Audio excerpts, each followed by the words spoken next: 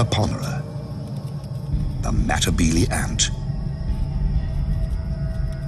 These powerful predators are twice the termite size.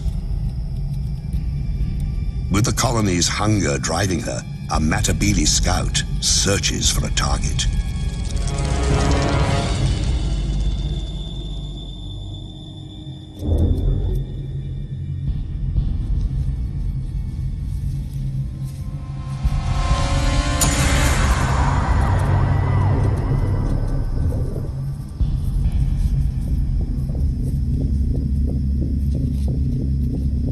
Termites know that shadow and what it means.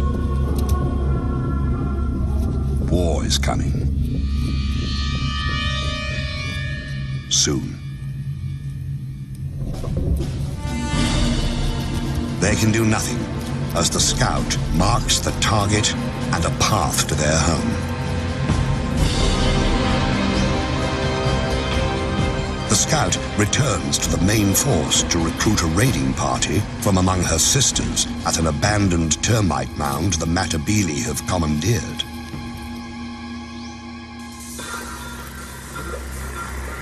With a jolt of pheromones, the chemical message travels among the warriors.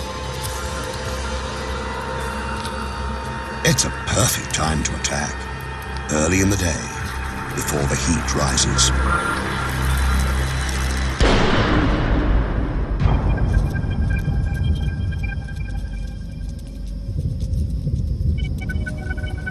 Matabele move out with the ominous, deliberate pace of a Roman legion.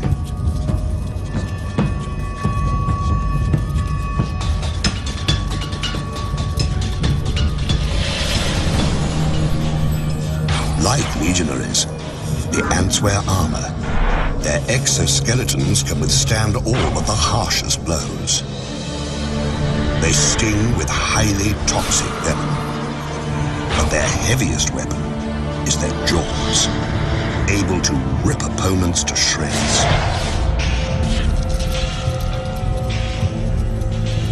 A raiding force can consist of 600 ants.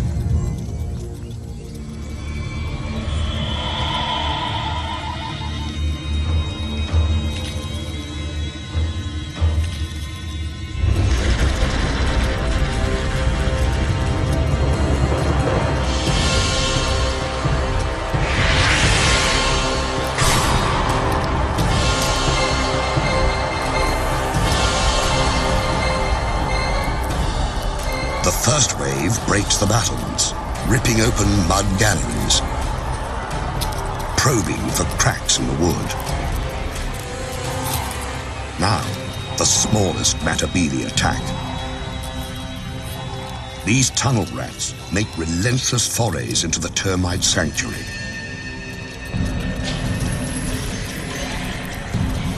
Heavier troops, some more than two and a half centimeters long, line up for the grisly harvest. It's the devil's buffet. All you can kill, all you can carry.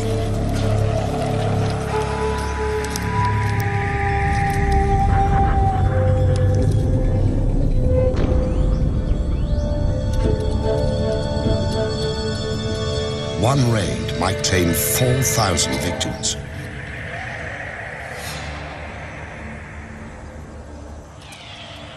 The Matabele have all the dead termites they can manage, they head home.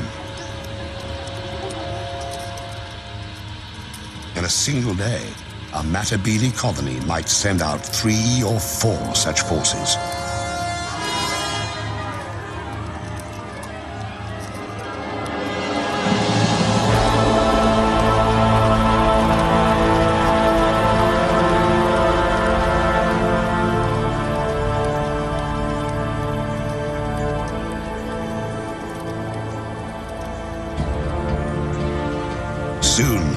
big ants will move their base to richer hunting grounds.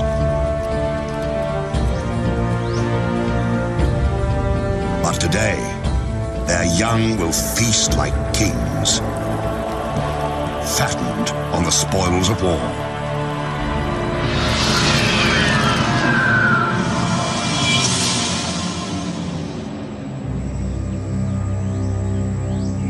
Violence is the imperial tool wielded in many ways. Sometimes to disrupt, sometimes to control.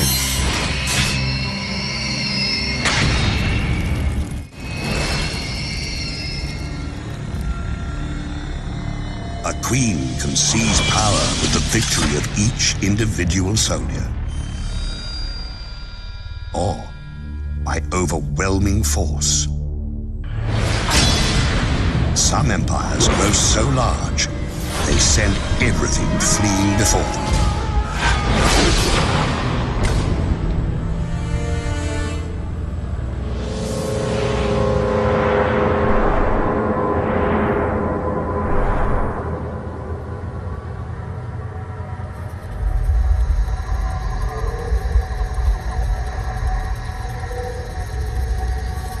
The Panamanian rainforest, Eciton, the army ant, rules its turf with massive numbers.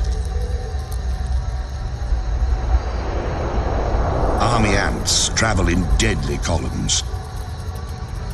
A lethal force ever on the move. But this is not an attack. These ants, 500,000 to 700,000 of them, have been marching all night, their young in tow. Theirs is a nomadic existence, embodied in their bivouac. Army ants are their own fortress, a living, breathing domain that travels on countless legs. And those legs are strong. One eciton hanging by its claws can support another hundred ants. For a man to match that feat, he'd have to hold up three armored vehicles.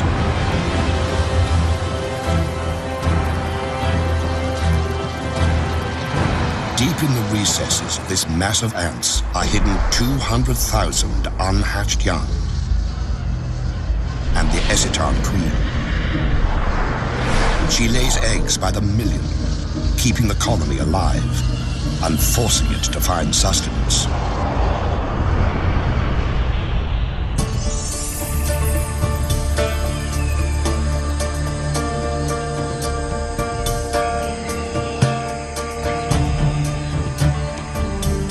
Dawn, and the bivouac stirs. After a night of stillness, meter-long mass of legs and feelers rouses itself into action.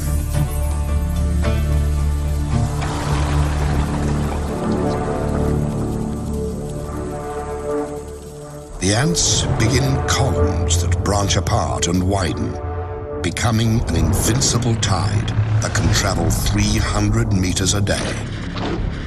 It's called a swarm raid, and it consists of several hundred thousand ants.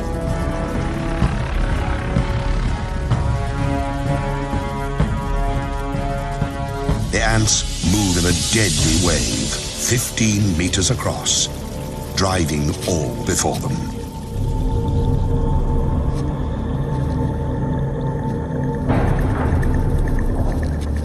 Those who fail to flee are doomed.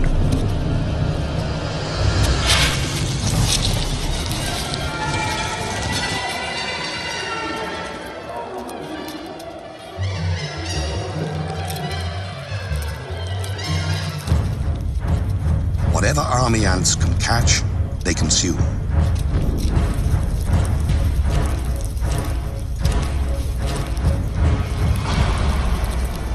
The attackers shred their prey so they can carry it back to feed the young.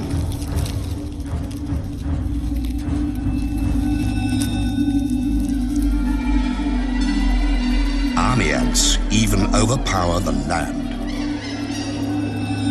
They instinctively form bridges that carry the swarm over gaps and gullies. Across these living structures flows a steady stream of corpses. 30,000 a day.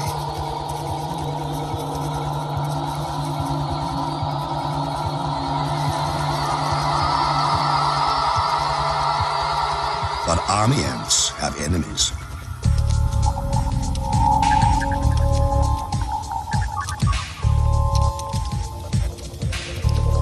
Along the swarm's edges, bandits try to pick off stragglers.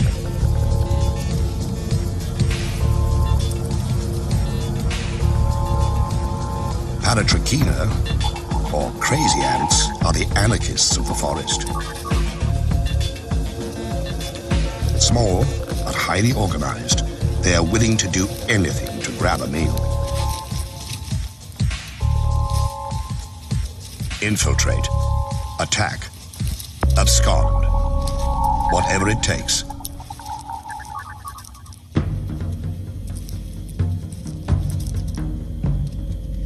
Instead of stingers, the crazy ant has spray jets that spew paralyzing venom.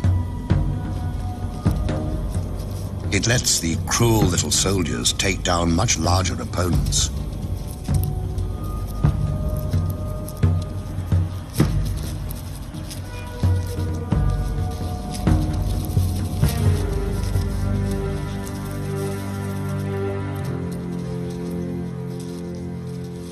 Fear their crazy cousins for the chaos they unleash. The bigger insects have to fight for their lives against the anarchist throngs. At first, the crazy ant's venom stuns the army ants. Then the effects wear off, and the army ants regain their strength. They handily escape the tiny pirates and return to the business of the raid.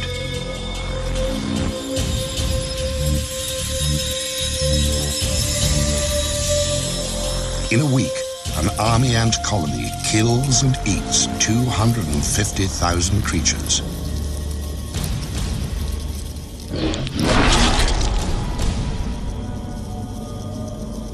Ravaging the landscape, army ants shred its sense of order. In another kingdom, the ruler maintains control by any means necessary, even torture.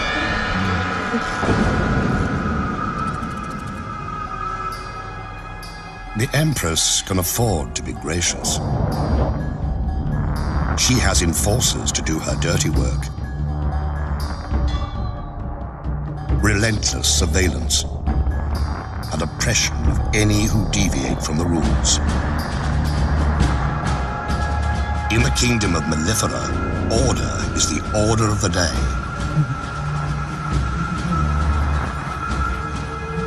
Every day.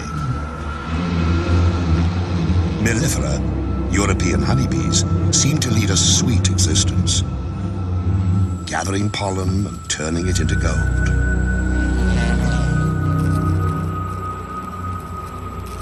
But beneath this bright image lies a dark reality. The colony exists to serve the queen, who lays the eggs that become the workers, who maintain the hive, and the warriors who defend it. Below the queen ranks the colony's young, its future. She who must be served and those who must survive dominate the hive's existence. But if something didn't keep the hive's inhabitants in line, bee society would fall apart. Every female has it in her to lay eggs, to be a queen. But the colony can have only one ruler. So, it has a police force to ensure that fact. Enforcer bees patrol constantly, checking cells, tracing the lineage of suspect eggs. Making sure the guard bees stay on their fuzzy toes.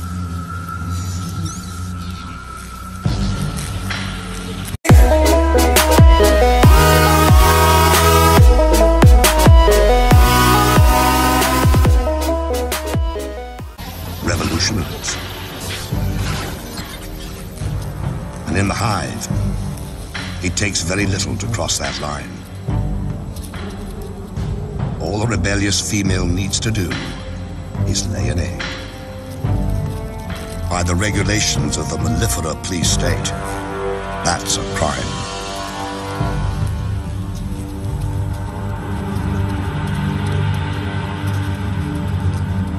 One bee is breaking the law. She deposits an egg in what she hopes is safety. If they thought they could get away with it, half the bees here would do the same. And the hive would fall into disarray. That's why police bees make their rounds, searching for evidence of insurrection.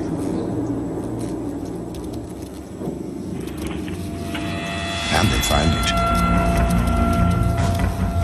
For them, an outlaw egg contains the seeds of a colony's destruction, and so it must be destroyed.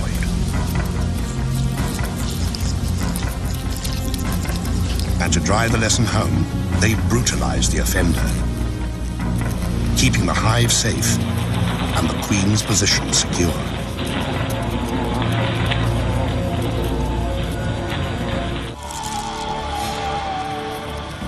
The natural order demands surrender.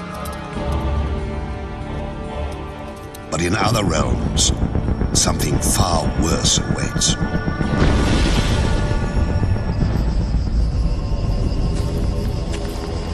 In the Imperial domain, it is not enough to rule. Others also must serve. By abduction and terror, the Empire assures itself of slaves. Warriors carry the captives into servitude. Strangers in a strange place. In Arizona, the kingdom of Polyergus needs its slaves. The queen has her consorts, the warriors, to do her bidding. All of these live royally, thanks to a servile class. Polyergus, the slave raider ant, requires slaves because the species has grown so specialized it cannot care for itself. Massive mandibles, perfect for killing, have little use off the battlefield. So this kingdom has two societies. Those who reign and those who serve. The servant ants, dwarfed by their masters, are of the species Formica.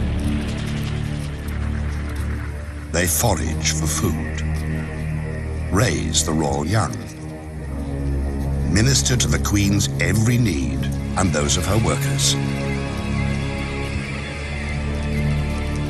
Born into bondage, they will die slaves.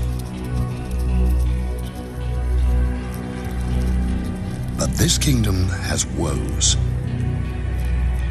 Its Formica slaves are dying of old age. It's time for the slave-raiding Polyergus to do what they do best. Kill and plunder.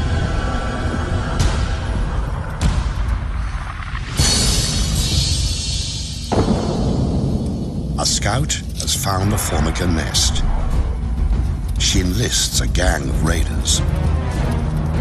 A roiling mass of red aggression, spoiling for battle.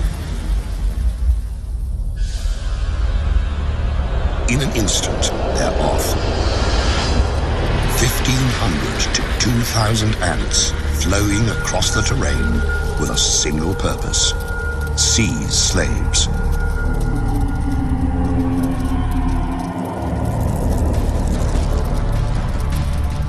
Streaming into the Formica nest, the Polyergus raiders unleash hell. They kill, but only when need be. They've really come to steal the unhatched Formica young.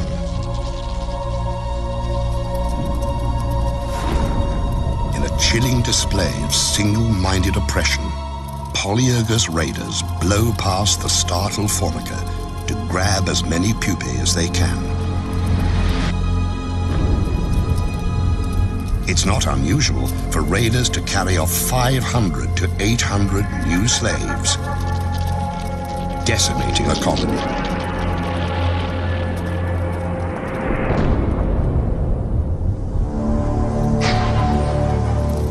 The raiders transport the kidnapped Formica brood back to their kingdom. When the stolen Formica hatch, they will believe the Polyergus nest is where they belong. Another generation of Formica will become slaves.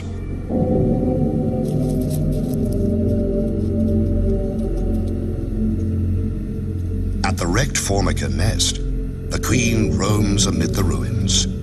Her offspring abducted and enslaved. She has been spared. But in other realms, innocents suffer unspeakable horrors.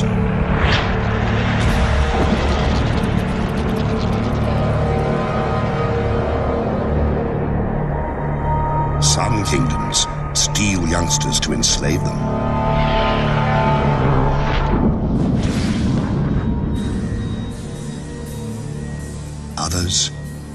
Take no prisoners, slaughtering the defenseless to feed their own young. Winged horror has a name.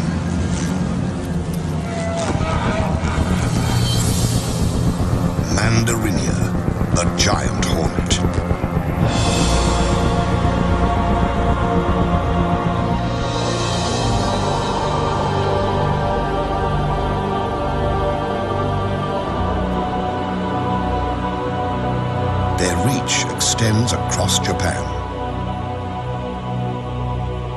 empire reigns in dark, secluded places.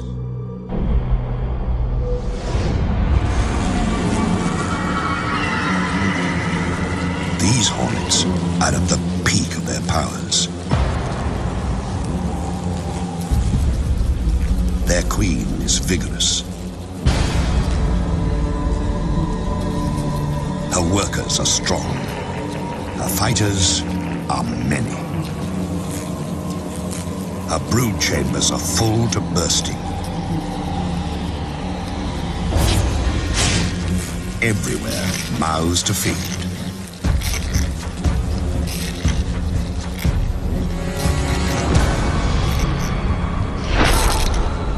Countless larvae signal their relentless hunger by scratching at the walls of their cells.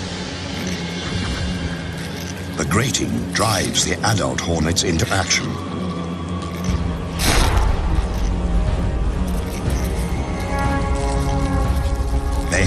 Feed the babies. And hornet babies live on flesh, ground into meatballs, and delivered by their caregivers. The larvae must feed constantly so a single scout takes wing, ranging far afield to find fresh meat. Nearly eight centimeters long, giant hornets are superb killers. Sharp talons seize prey. Powerful jaws sever limbs and decapitate victims compound eyes detect the slightest movement. And this scout has found a fat, defenseless target. A hive full of mellifera, European honeybees. The scout marks it with pheromones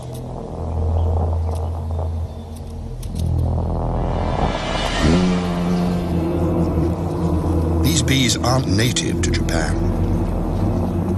They arrived during the last century, imported because they produce more honey and are less combative. Because the alien bees didn't evolve with the giant hornets, they have no way to fight an attack.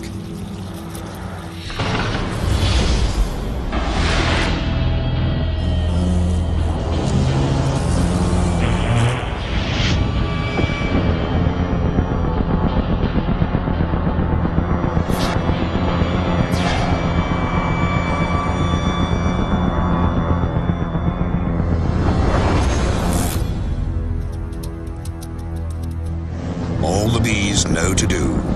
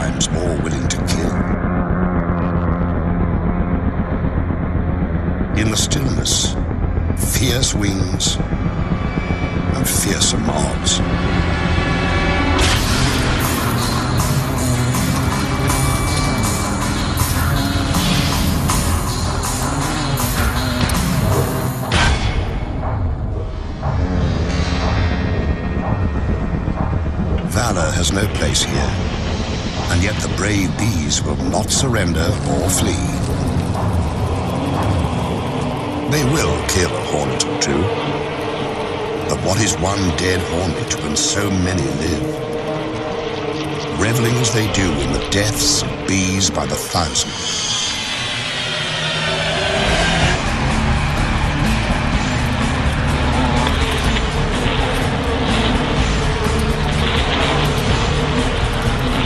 The carnage mounts, a foregone conclusion playing itself out to a horrifying end.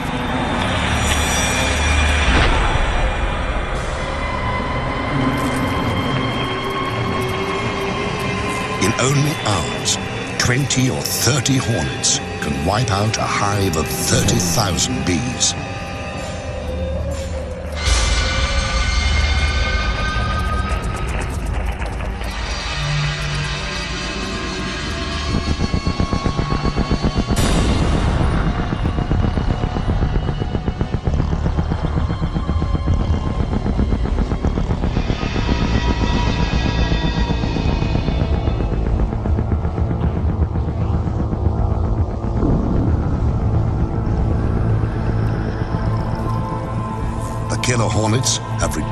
Defenders to a carpet of the dying and the dead.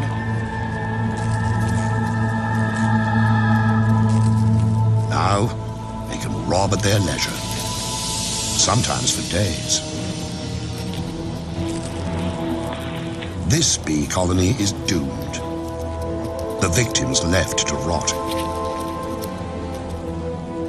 The raiders gorge on honey, even licking it from carcasses.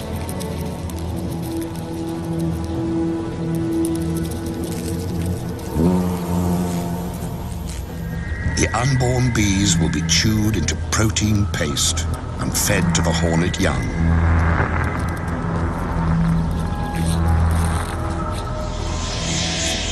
For every empire that seems invincible, there is an opponent able and ready to exploit an unexpected weakness.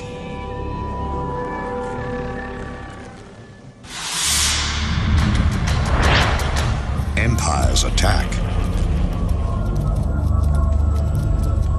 But they also must defend themselves.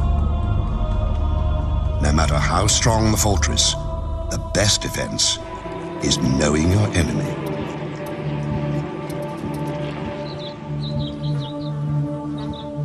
These bees have learned that lesson. For eons, they have thrived in the giant hornet's deadly shadow. The bees of Cerana know the giant hornets send scouts to find their hives.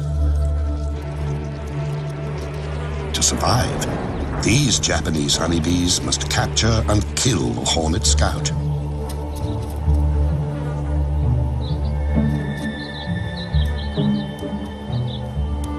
To do that, they have a secret weapon.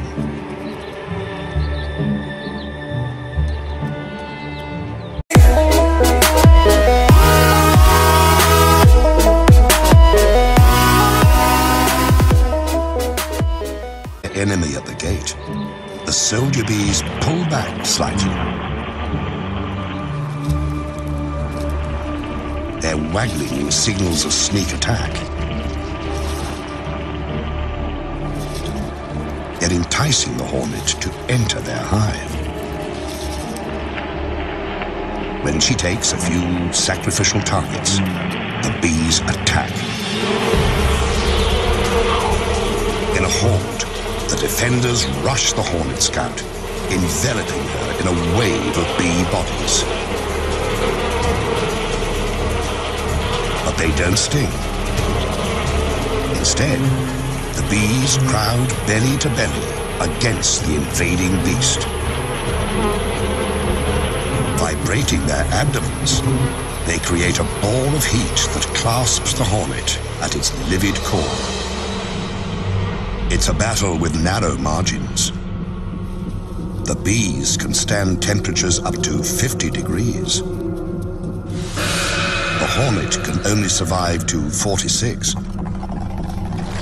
The temperature of the core, 47 degrees. For 20 minutes, the squirming orb presses onto its prey. Bees die. Others step up. If the scout escapes, all is lost.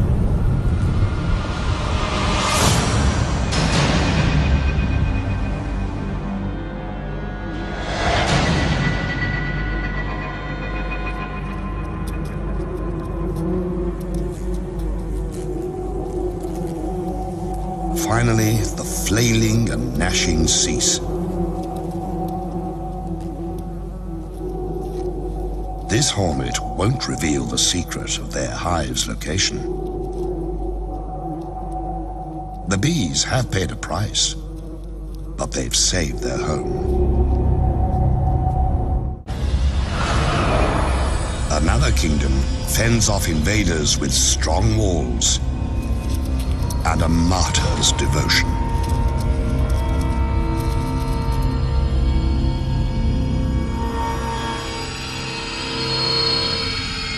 In the land of Macrotermes, jousting for territory and resources never relents.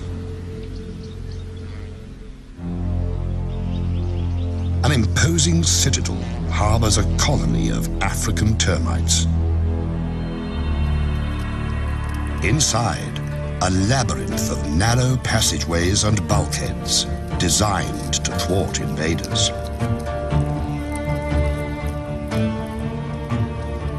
The termites are watchful, lest their citadel fall.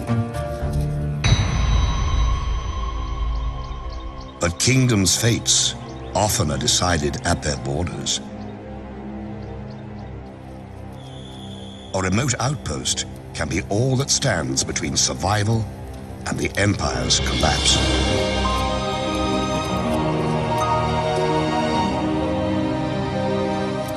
Outside the protective walls, foragers collect and transfer food back to the Queen and her charges. They also watch for invaders. A Matabele scout appears. With their heads, termites send a subterranean alarm that ripples through the outpost.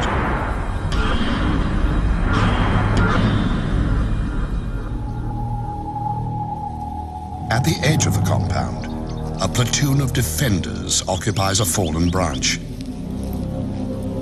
These soldier termites are strong and agile, prepared to give the last full measure. Few of their kind grow this large and strong. Their jaws can cut through human flesh. The encounter begins by ones and by twos.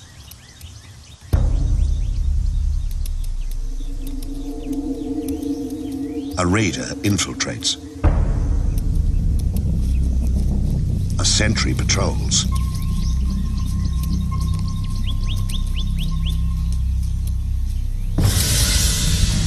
Death, and the battle is joined.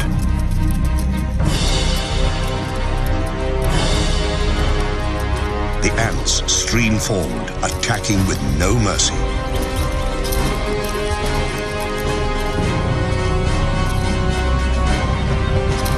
Using their mandibles, The termites attempt a defense. It's no use.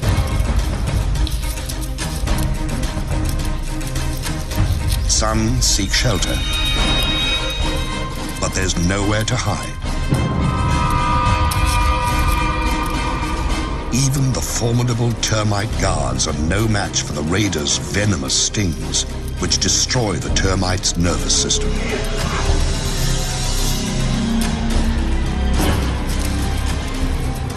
It's more feast than fight, as ants sting and slash the defenders to pieces. The warriors who fall here do not die in vain. They stand against the Matabele tide, while their comrades in the galleries organize a last-ditch defense.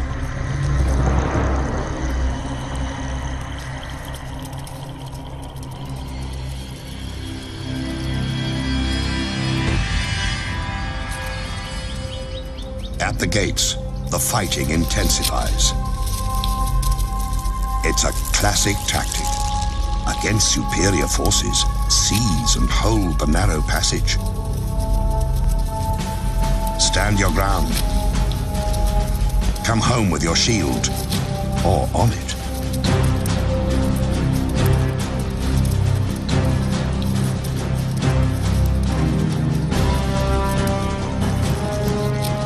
The termite soldiers never relent.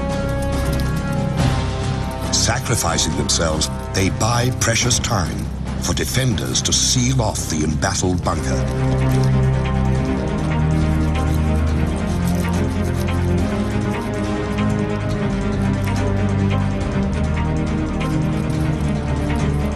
Denied entry, the Matabele withdraw to attack another day. The termite colony is safe, at a terrible cost.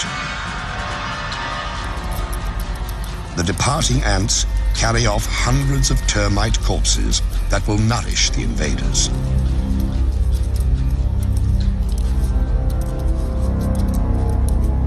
Clever strategies can prevail. So can impenetrable defenses. But there's no way to prevent an attack from within. A kingdom's fate can turn in the blink of a treacherous eye.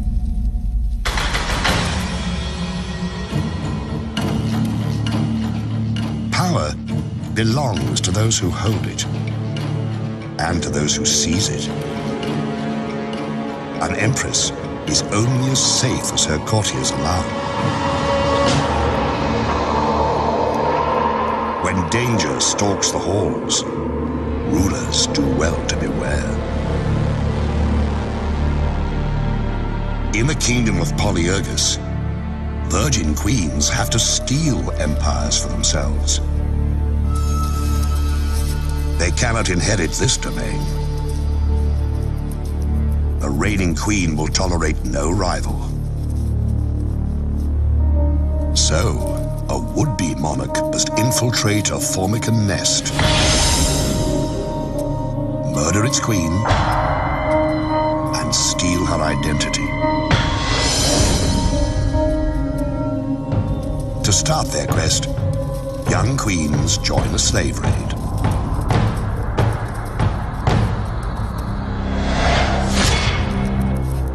En route, they mate and shed their wings. A sign that they now bear the seeds of empire.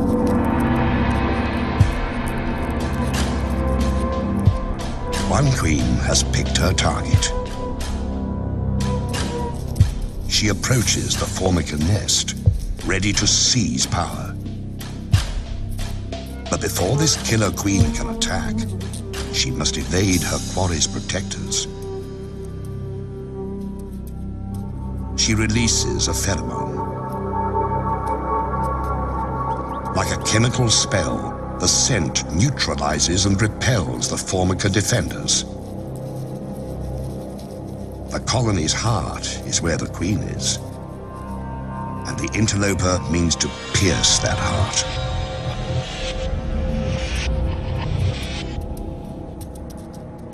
She's fixed on her mission. Assassinate the queen and take her place. Pretender's sickle-shaped mandibles have one brutal purpose. When she confronts her rival, there's no hesitation. She savages her prey. Not to eat her, but to steal her identity.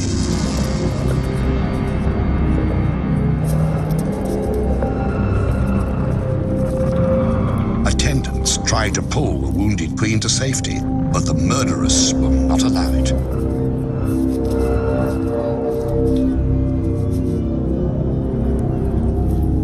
She laps up her victim's blood and rolls in her spilled fluids, thoroughly absorbing the monarch's essence.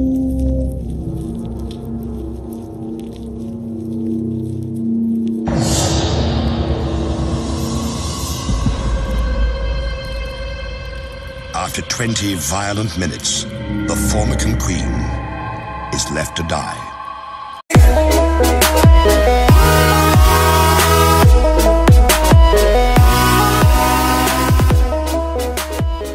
They sting with highly toxic venom. But their heaviest weapon is their jaws, able to rip opponents to shreds. A raiding force can consist of 600 ants.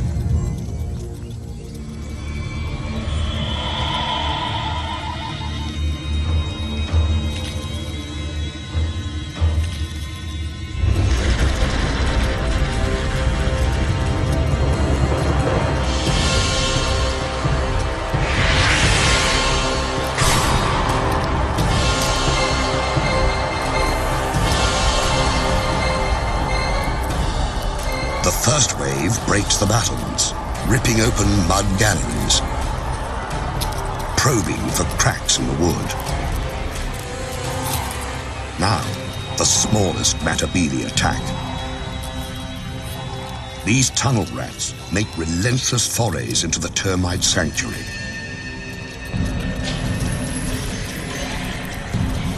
Heavier troops, some more than two and a half centimeters long, line up for the grisly harvest. It's the devil's buffet. All you can kill, all you can carry.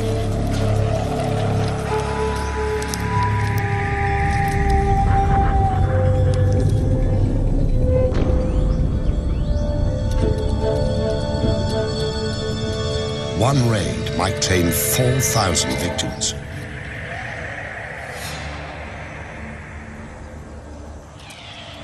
When the Matabele have all the dead termites they can manage, they head home. In a single day, a Matabele colony might send out three or four such forces.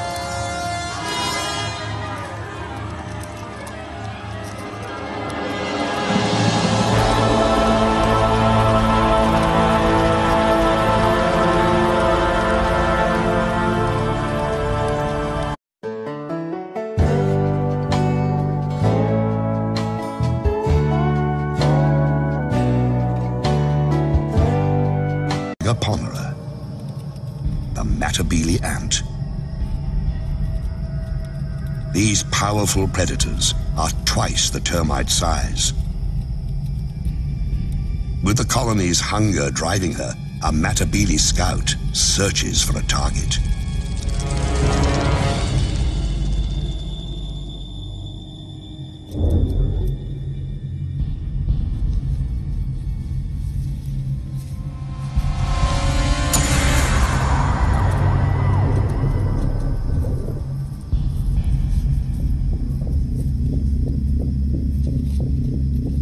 Termites know that shadow and what it means.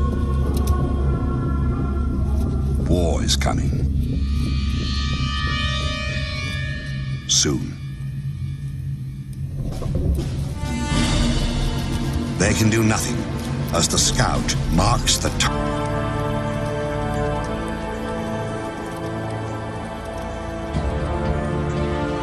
Soon, the big ants will move their base to richer hunting grounds.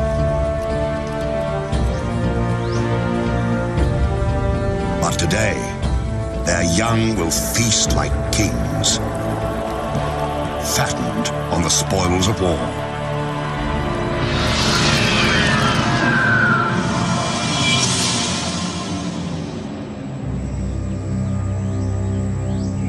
Violence is the imperial tool, wielded in many ways.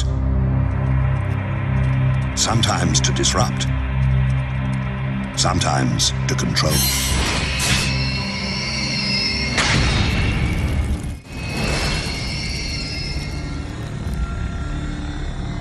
A queen can seize power with the victory of each individual soldier. Or by overwhelming force. Some empires grow so large, target and a path to their home. The scout returns to the main force to recruit a raiding party from among her sisters at an abandoned termite mound the Matabele have commandeered.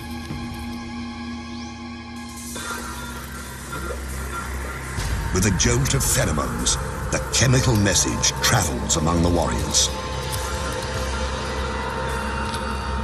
It's a perfect time to attack, early in the day, before the heat rises.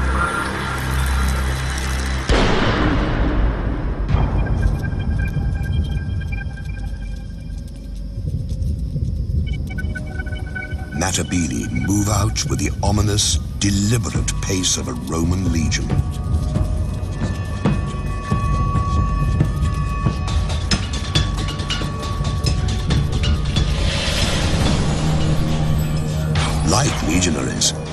The ants wear armor. Their exoskeletons can withstand all but the harshest blows.